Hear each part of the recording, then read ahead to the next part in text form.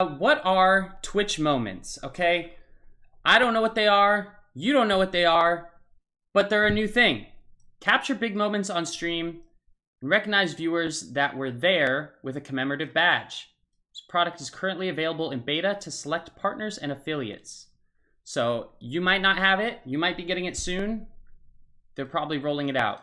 Creators with beta access can create up to five moments per month to give to their viewers. Viewers will receive a moments badge that links to a clip. The moments badge will evolve as your viewers collect more moments on your channel.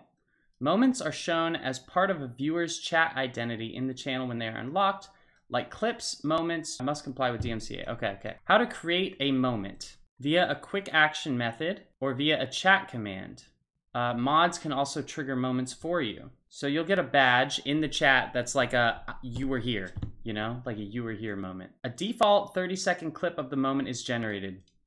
But you can adjust the clip length to be longer or shorter, one minute max, within 24 hours of when the moment is created. Okay, so you could like make the default clip and then you could go back and edit it to be more like precise to what the actual moment was. Slash, let me try it. Ha, I don't have it. Great. You can only trim and publish the clip of the moment once. So make sure you like the length and timing before publishing. How to earn moments. Okay, so this is on the chat side now. So if a streamer you're watching starts creating a moment, it looks like this little claim button will pop up right above the chat box. That's like your way of saying like, I was there. I was here, you know, Pog you, Pog Champ, Komodo Hype, Poggers. And then if you were there for a lot of moments, you'll start earning these badges, you know, showing that you were in the stream for some Pog moments. This is actually pretty cool. I think this is actually really nice. Uh, a cool way for like a veteran viewer to show that they're actively engaged. There's always been sub badges, which show like that you support monetarily.